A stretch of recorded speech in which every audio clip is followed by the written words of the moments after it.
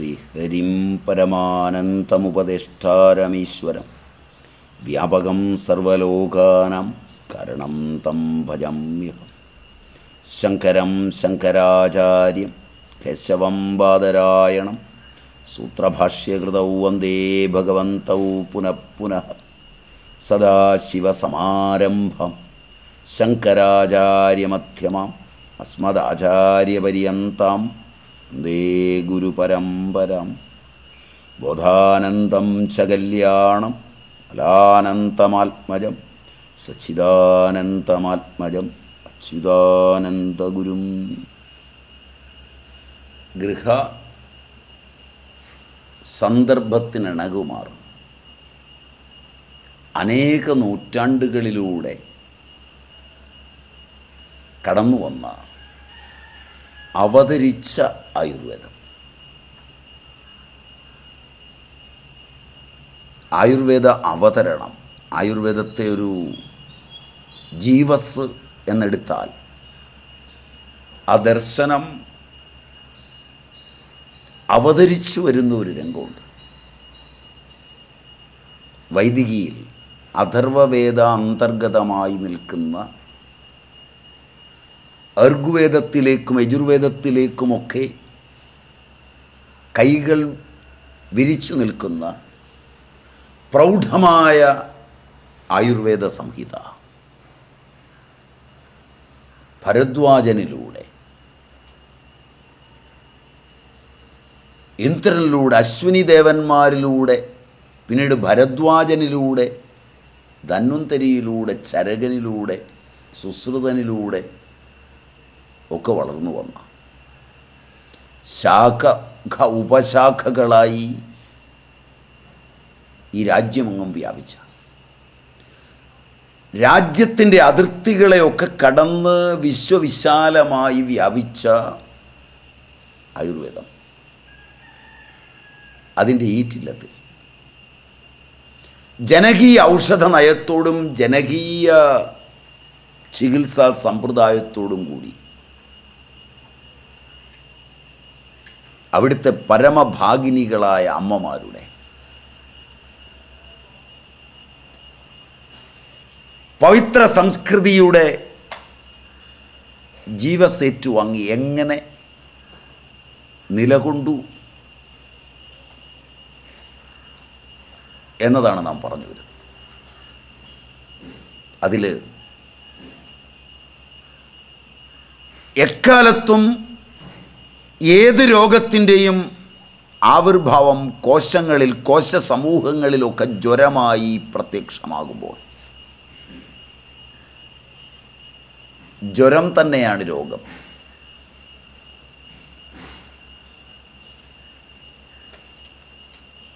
ജ്വരത്തെയും അതിന്റെ നിർവചനത്തെയും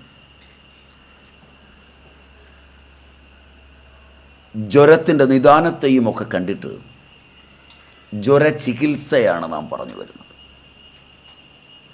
വളരെ ലളിതങ്ങളായ ഔഷധങ്ങൾ കൊണ്ട് ചുറ്റും കാണുന്ന പദാർത്ഥങ്ങൾ കൊണ്ട് അയത്നലളിതമായി ലഭിക്കുന്ന പദാർത്ഥങ്ങൾ കൊണ്ട്. കഴിഞ്ഞ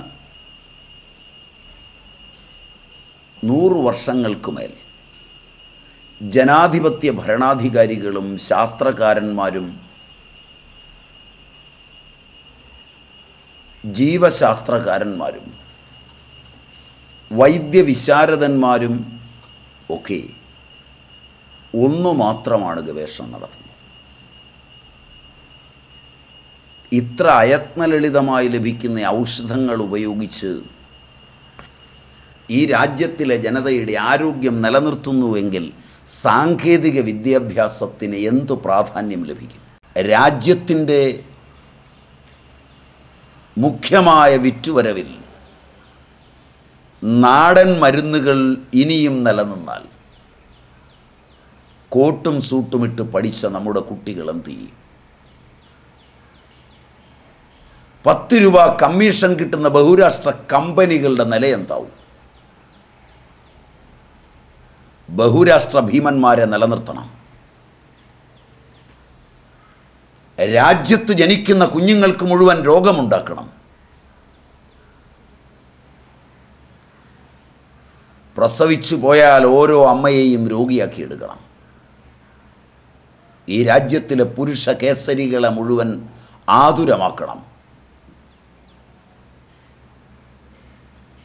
രാജ്യത്തിൽ തലങ്ങും വിലങ്ങും വിഷഗ്വരന്മാരെ കൊണ്ട് നിറയ്ക്കണം.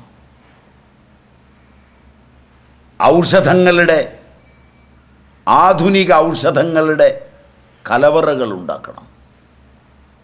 ഇറക്കുമതിയും കയറ്റുമതിയും വർദ്ധിപ്പിക്കണം. ഇതൊക്കെ പുരോഗതിയാണ്. ഒരു രാജ്യത്തെ ജനതയെ ക്രൂരമാം വിധം രോഗികളാക്കി മാറ്റുവാനുള്ള ഈ പരീക്ഷണ നിരീക്ഷണങ്ങൾക്ക് വേണ്ടി മണ്ണിന്റെ ഫലം കളയുക.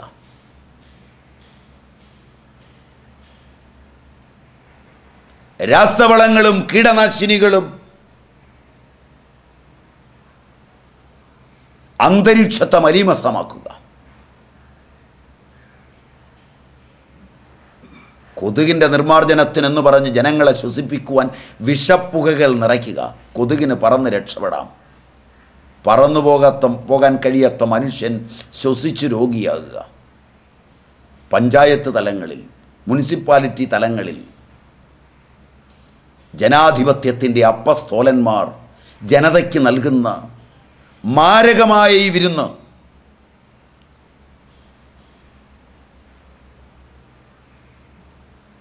മണ്ണിൽ പ്രകൃതിയാ വളരാത്ത അന്യദേശങ്ങളിൽ വളരുന്ന സസ്യങ്ങളെയും ജന്തുക്കളെയും ഇവിടെ കൊണ്ടുവന്ന് വിടുക.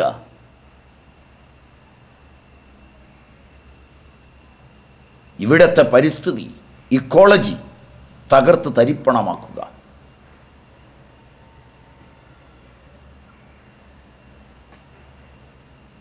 പ്രകൃതി ദുരന്തങ്ങൾക്കിരയാക്കുക. അഭിശാപവും അഭിഘാതവും കൊണ്ട് രോഗികളെയും രോഗത്തെയും സൃഷ്ടിച്ചെടുക്കുക.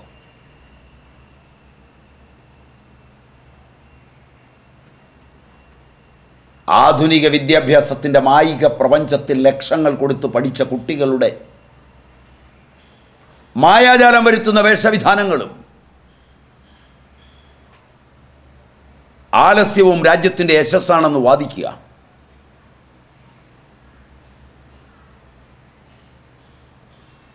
അതിന്റെ വെളിച്ചത്തിൽ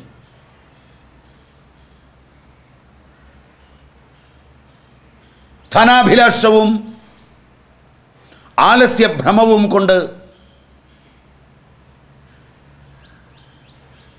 ഒരു ജനത താറുമാറാവുക. ഇത്തരുണത്തിലാണ് നാം നമുക്ക് മുമ്പ് ഇവിടെ ജനങ്ങൾ ജീവിച്ചിരുന്നില്ലേ? ഇത്രയധികം തിന്നാതെ ഇത്രയധികം കുടിക്കാതെ ഇത്രയധികം പണം ചെലവാക്കാതെ നമ്മുടെ അമ്മമാർ ആരോഗ്യത്തോടെ ഇരുന്നില്ലേ? വിവാഹം കഴിച്ചില്ലേ? പ്രസവിച്ചില്ലേ? ഈ മണ്ണിൽ തൊഴിലെടുത്ത് ജീവിച്ചില്ലേ?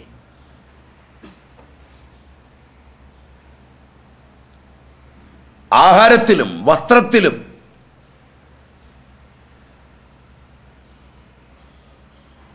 ലൈംഗികതയിലുമൊക്കെ അവരാരും സംതൃപ്തരായിരുന്നില്ലേ? അവരെക്കാൾ കൂടുതലായി ഇന്ന് ഇവയ്ക്കെല്ലാമുള്ള അഭിലാഷങ്ങളേറിയ ആധുനിക തലമുറ സംതൃപ്തരാകുന്നുണ്ടോ? ഈ വെളിച്ചത്തിൽ ജനകീയ ഔഷധ നയത്തെയും ജനകീയ ആയുർവേദത്തെയും നാം അപഗ്രഥിച്ചു വരികയാണ് ഈ പങ്ക്തികളിൽ. അതിന്റെ തുടർച്ചയിൽ വാദവിത്ത കപങ്ങൾ ഉളവാക്കുന്ന ജ്വരത്തെയാണ് നാം പറഞ്ഞിരുന്നത്. രാമച്ചം ചുക്ക് ഇരുവേലി നിലവേപ്പ്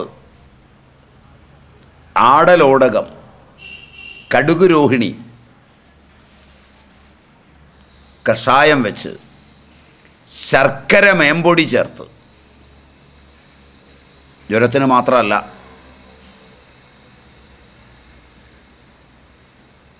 മറ്റു പലതിനും ഇത് നല്ലതാണ്. തൃഷ്ണയ്ക്കും രക്തപിത്തത്തിനും ജ്വരത്തിനുമൊക്കെ നന്നാണ്.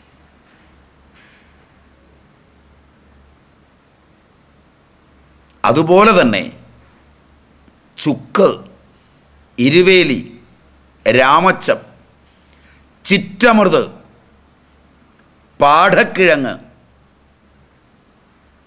കിരിയാത്ത് മുത്തങ്ങ കൊടിത്തൂവ കഷായം.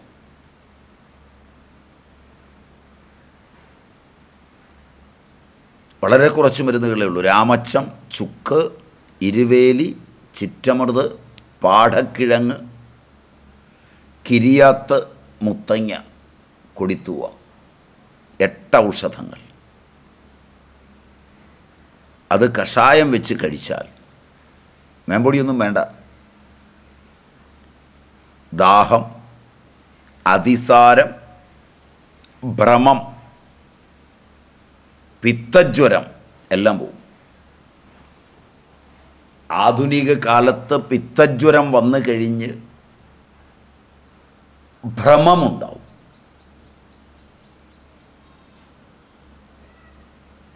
ഈ ഭ്രമം പല വഴിയിലേക്ക് അപസ്മാരത്തിലേക്ക് ഗളകണ്ഠത്തിലേക്ക് തൈറോയിഡിലേക്ക് ഒക്കെ മൊഴിമാറി പല രോഗങ്ങളായി വികസിച്ച് രൂപാന്തരപ്പെട്ടു വരാറുണ്ട്. ഒരു പനി കഴിഞ്ഞതാണ്. ഇപ്പോൾ അവൻ പറയുന്നില്ല. ഇങ്ങനെയൊക്കെ ഒരുപാട് കുട്ടികളെ കാണാം. ആധുനിക ചികിത്സ വന്നതിന് ശേഷമാണ് ഇത് കാണുന്നത്. ഒന്ന് ജനങ്ങൾ ലളിതങ്ങളായ ഔഷധങ്ങൾ ഉപയോഗിക്കരുത്. അറിയാവുന്നവർ പറയുന്നതേ ചെയ്യാവൂ എന്ന് വിലക്കി. അറിയാവുന്നവർ എന്നത് കച്ചവടക്കാരായി. കാണാൻ ക്യൂ നിൽക്കണം. പണം ധാരാളമുള്ളവന് മാത്രമേ കാണാൻ പറ്റൂ. പന്ത് തട്ടുന്നത് പോലെ തട്ടിക്കളിച്ചു ജനങ്ങളെ. ഔഷധശാലകളിൽ ആശുപത്രികളിൽ ഈ തട്ടിക്കളിക്കലെല്ലാം കഴിഞ്ഞ് സർവത്ര രോഗമായി ജനത മാറിക്കൊണ്ടിരിക്കുകയാണ്. ഒന്നുകിൽ ഭിഷഗ്വരന്മാർ പുനർചിന്തിക്കണം. പക്ഷേ അവർ സംഘടനകൾ ഉണ്ടാക്കി. ആ ബലത്തിൽ ഭരണാധികാരികളെ മുട്ടുകുത്തിച്ച് ജനങ്ങളെ പന്തു തട്ടുകയാണ്. അതിൽ നിന്ന് അതിൽപ്പെട്ട ഭിഷഗ്വരന്മാർക്ക് പോലും രക്ഷയില്ലാതായിരിക്കുകയാണ്. മനുഷ്യസ്നേഹികളായ ഭിഷഗ്വരന്മാരെയാണ് സംഘടനകൾ പിടിച്ചു നിർത്തി തൊലിയുരിച്ചുകൊണ്ടിരിക്കുന്നത്. ഇത്തരമൊരു തലത്തിലേക്ക് വളരുമ്പോൾ ജനാധിപത്യ പ്രക്രിയയിൽ വോട്ടെന്ന ആയുധം മാത്രമല്ല ജനത്തിന്റെ കയ്യിൽ. പ്രതിഷേധത്തിന് ചികിത്സകളെയെല്ലാം ത്യജിക്കുവാനുള്ള കഴിവും ജനതയ്ക്കുണ്ടാവണം. മരിച്ചാൽ മരിക്കട്ടെ.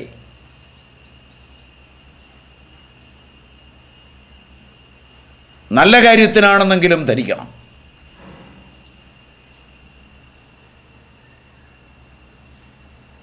ആ രീതിയിലൊരു മാറ്റത്തിലേക്ക് ജനതയെ സജ്ജീകരിക്കുമ്പോഴാണ് ജനങ്ങളുടെ പണം കൊണ്ട് പണം കൊണ്ട് ആഡംബരങ്ങളും മറ്റും നേടി ഉന്നതരായി ചമഞ്ഞു നടക്കുന്നവന്റെ ഗർവം കുറയുക. അത് കുറയ്ക്കേണ്ട കാലഘട്ടം വ്യക്തമായി സമാഗതമായിട്ടുണ്ട്. എല്ലാ രംഗത്തും ജനാധിപത്യത്തിലെ ഭരണാധികാരികളുടെ ഗർവ് സംഘടിത ശക്തിയുടെ പേരിൽ. രാഷ്ട്രീയത്തിന്റെ ഗർവ്. അധികാരത്തിന്റെ ഗർവ്. ഔദ്യോഗിക ചിഹ്നനങ്ങളുടെ ഗർവ് ഇതെല്ലാം ഒറ്റയടിക്ക് തകർക്കാൻ ജനതയ്ക്ക് കഴിഞ്ഞില്ലെങ്കിൽ നാളെ ഈ മണ്ണിൽ ആരോഗ്യമുള്ള പിള്ളേരുണ്ടാവില്ല. അതുകൊണ്ട് ശാസ്ത്രവും സാങ്കേതിക വിദ്യയും കാണിച്ച് ജനങ്ങളെ വിരട്ടുന്ന ആധുനിക ശൃഗാലന്മാരുടെ പല്ലും നഖവും ഊരിക്കളയേണ്ട കാലമായിട്ടുണ്ട്. അതിനുള്ള ഒരു എളിയ ശ്രമവും കൂടിയാണ് ഈ പരിപാടി. വെറുമെട്ട് മരുന്നുകൾ. അതിസാരം കൊണ്ട് വിഷമിക്കുമ്പോൾ ഭ്രമം കൊണ്ട് വിഷമിക്കുമ്പോൾ പിത്തജ്വരം കൊണ്ട് വിഷമിക്കുമ്പോൾ അത് മാറി കിട്ടും കൊടിത്തൂവ. ചൊടുതണമെന്ന് പറയും. വള്ളിച്ചൊറിയണമെന്ന് പറയും. പർപ്പടകപ്പുല്ല്. പനിയിൽ പർപ്പടകപ്പുല്ല് അതിവിശിഷ്ടമാണ്. കൊടിത്തൂവയും അതെ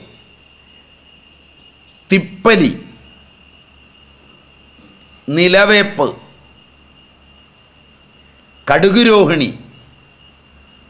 ആടലോടക വേര് ഇത്രയും മരുന്നുകൾ ചേർത്ത് കഷായം വെച്ച്. ശർക്കര മേമ്പൊടി ചേർത്ത് കഴിച്ചാൽ ദാഹം തൃഷ്ണ ജ്വരം രക്തപിത്തമെല്ലാം ശമിക്കും. ഉണക്ക മുന്തിരിങ്ങ വാങ്ങുമ്പോൾ സൂക്ഷിക്കണം കുരുവുള്ളത് വാങ്ങണം. കുരുവില്ലാത്ത ഒരുപാട് സാധനങ്ങൾ പുതുതായി ഹോർമോണിൽ ഉണ്ടാക്കിയെടുത്തിട്ടുണ്ട്. കുരുവില്ലാത്ത മുന്തിരിങ്ങ കുരുവില്ലാത്ത ആപ്പിൾ കുരുവില്ലാത്ത തണ്ണിമത്തൻ കുരുവില്ലാത്ത മാങ്ങ ഒക്കെ ഇന്ന് മാർക്കറ്റിൽ വന്നു തുടങ്ങി. ഹോർമോൺ കൊണ്ടാണ് കുരുവില്ലാതാക്കുന്നത്. നമ്മുടെ പൂർവികർ രസകരമാണ് നമ്മുടെ വിദ്യാഭ്യാസത്തിന്റെ ചരിത്രം പരിശോധിക്കുന്നത്. വിദ്യാഭ്യാസ സ്ഥാപനങ്ങളെ സ്വകാര്യ വ്യക്തികൾക്ക് പകുത്തു കൊടുക്കുകയും ഭരണഘടന ചില പ്രത്യേക അവസരങ്ങളിൽ ചില പ്രത്യേക അവകാശങ്ങൾ പറഞ്ഞിട്ടുണ്ട്. ഭരണഘടന എഴുതുമ്പോൾ ഇന്ത്യൻ ഭരണഘടനാ ശില്പികളെ വിഷമിപ്പിച്ച കുറേ കാര്യങ്ങളുണ്ട്. ജനാധിപത്യം വരുന്നതിന് മുമ്പ്. രാജാധികാരത്തിന്റെ കാലങ്ങളിൽ ജൂതന്മാർ ഓടിയെത്തിയത് ഈ രാജ്യത്തേക്കാണ്. സ്വന്തം രാജ്യത്തിന്റെ പീഡനം സഹിക്കവയ്യ. കൊച്ചി രാജാവ് അവർക്ക് അഭയം നൽകി. കൊച്ചിയിൽ പ്രസിദ്ധമായ ജൂതപ്പള്ളി നിർമ്മിച്ചു. ഇന്ത്യയിലെ അതിപ്രശസ്തരായ കച്ചവടക്കാരായി ജൂതന്മാർ മാറി. ഇന്ത്യ ഹൂണന്മാർക്കും അഭയം നൽകി അനേകം അനേകം മതവിഭാഗങ്ങൾക്കും അനേകമനേകം ആളുകൾക്കും പ്രയാണത്തിന്റെ സമയങ്ങളിൽ അഭയം നൽകി ഈ രാജ്യത്ത് വന്നു ചേർന്നതിനെ ചിന്തിച്ചപ്പോൾ ആംഗലേയ വിദ്യാഭ്യാസത്തിന്റെ വൈവശ്യം കൊണ്ട് ഇന്ത്യൻ ഭരണഘടനാ ശില്പികൾ ഇന്ത്യയുടെ സംസ്കാരമല്ല തലയിൽ വഹിച്ചത്. പാശ്ചാത്യ സംസ്കൃതിയാണ് തലയിൽ വഹിച്ചത്. വിദ്യാഭ്യാസം കൊണ്ട് പാശ്ചാത്യന്റെ പിന്തുടർച്ചക്കാരായിപ്പോയ ഇന്ത്യൻ ഭരണഘടനാ ശില്പികൾ എക്കാലത്തേക്കും ഇന്ത്യയിൽ ഓടി വന്ന പലായനം ചെയ്തു വന്ന വ്യക്തികളുടെ വേദനയെ അവരെ സ്വീകരിച്ച ഇന്ത്യയുടെ സഹിഷ്ണുതയെയും നന്മയെയും അല്ല ചിന്തിച്ചത്. പാശ്ചാത്യന്റെ കാപട്യങ്ങളെയാണ് ചിന്തിച്ചത്. അതുകൊണ്ട് തന്നെ ഭരണഘടനയിൽ ന്യൂനപക്ഷങ്ങൾക്ക് നാളെ പീഡനമുണ്ടായേക്കുമെന്ന് ആ പഠിപ്പുള്ള ഭരണഘടനാ ശില്പികൾ വിശ്വസിച്ചു. അന്യരെ പീഡിപ്പിച്ച് ശീലമില്ലാത്ത ഇന്ത്യൻ ജനതയിൽ വിശ്വസിക്കാത്ത ഭരണഘടനാ ശില്പികൾ. അതുകൊണ്ട് ഭരണഘടനയിൽ ഒരു വകുപ്പുണ്ടാക്കി. ഭരണഘടനയുടെ മൗലിക സത്ത സ്വാതന്ത്ര്യവും സമത്വവുമാണ്. ഒരു രാജ്യത്തിലെ ജനത സമത്വത്തിൽ അധിഷ്ഠിതമായി ജീവിക്കുക എന്നുള്ളതാണ് യുദ്ധങ്ങളില്ലാതെ കലാപങ്ങളില്ലാത്ത നില. ഭരണഘടനയുടെ മൗലിക സത്ത ഏതാണ്? ഒരു പൗരനും പ്രത്യേകിച്ചൊരവകാശവുമില്ലാത്ത സമത്വം. ഇത് തന്നെയാണ് ഇന്ത്യൻ ഭരണഘടനയും എന്നാൽ എപ്പോഴെങ്കിലും ഭൂരിപക്ഷത്തിന്റെ പീഡനത്തിന് ന്യൂനപക്ഷം വിധേയമാകരുതെന്ന് കരുതി പ്രത്യേകമായൊരവകാശം ന്യൂനപക്ഷത്തിന് കൊടുത്തിട്ടുണ്ട്. അത് പീഡനവേളയിൽ എടുത്ത് പ്രയോഗിക്കാനുള്ളതാണ്. അത് ഭൂരിപക്ഷത്തെ പീഡിപ്പിക്കുവാനുള്ളതല്ല. വിദ്യാഭ്യാസത്തിൽ ന്യൂനപക്ഷത്തിന്റെ വിദ്യാർത്ഥികൾക്ക് പഠിക്കാൻ അവസരമില്ലാതെ വരുമ്പോൾ ആ വിദ്യാർത്ഥികൾക്ക് പഠിക്കാനുള്ളൊരു അവകാശം ഒരിക്കലും കച്ചവടക്കാരനുള്ളതല്ല. ഭൂരിപക്ഷ സമുദായത്തിലെ കച്ചവടക്കാർ പോലും ബിനാമികളായി ന്യൂനപക്ഷ സമുദായത്തിലെ വ്യക്തികളെ വെച്ച് ന്യൂനപക്ഷ അവകാശങ്ങളോടുകൂടി കച്ചവടം നടത്തുന്ന സ്ഥാപനങ്ങളായി നമ്മുടെ വിദ്യാഭ്യാസ സ്ഥാപനങ്ങൾ മാറിക്കഴിഞ്ഞിരിക്കുന്നു. ഇത്തരുണത്തിൽ നിയമം പുനർചിന്തനം ചെയ്യേണ്ടത് തന്നെയാണ്. ന്യൂനപക്ഷ സമുദായങ്ങളോ ന്യൂനപക്ഷ മതങ്ങളോ അല്ല കച്ചവടക്കാരാണ് ഈ സൗഭാഗ്യം മുഴുവൻ അനുഭവിക്കുന്നത്. അവരാണ് സംഘടിച്ചിരിക്കുന്നത്. ഈ വിദ്യാഭ്യാസത്തിന്റെ ഫലമായി നമ്മെ സംബന്ധിച്ചിടത്തോളം പലതും മാറിമറിയുകയാണ്. ആ വിദ്യാഭ്യാസത്തിന്റെ ഫലമായി ഇറങ്ങി വരുമ്പോൾ മൗലികമായ അറിവുകളും പൊതു താല്പര്യങ്ങളും നഷ്ടപ്പെടും. ആധുനിക വിദ്യാഭ്യാസം നേടിയവന് അപ്രാപ്തമായ ഒരു തലം. പഴയ ആളുകൾക്ക് ഇന്ത്യയിലുണ്ടായിരുന്നു. ഇന്നത്തെ വിദ്യാഭ്യാസം ലഭിക്കാത്ത അച്ഛനമ്മമാർ. പ്രകൃത്യ എന്ന് പറഞ്ഞാൽ ഒരു വാഴയിൽ പഴമുണ്ടാകുമ്പോൾ രണ്ടെണ്ണം ഒന്ന് ചിരട്ടയായി ഉണ്ടായാൽ പ്രകൃതിയിലെ ഒരു ക്രോമസോമൽ വ്യതിയാനം. സ്വഭാവത്തിൽ കുട്ടികളിൽ ഉണ്ടാകരുതെന്ന് കരുതി കഴിക്കരുതെന്ന് തടഞ്ഞിരുന്നു. അസുലഭങ്ങളായ ഈ അറിവുകൾ നിരത്തിവെച്ച് നമ്മെ അനുഗ്രഹിച്ചവരായിരുന്നു നമ്മുടെ പൂർവപിതാക്കന്മാർ നമ്മുടെ മാതാമഹികൾ. അവരുടെ പാദങ്ങളെ ഭക്തിപൂർവം നമസ്കരിച്ച് ഈ ഭാഗം നമുക്ക് ഉപസംഹരിക്കാം